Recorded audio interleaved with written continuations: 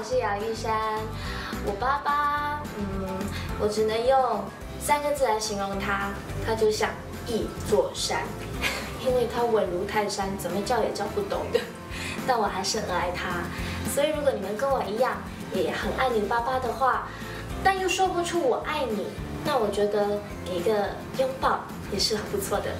这个父亲节呢，我要祝所有的父亲们父亲节快乐。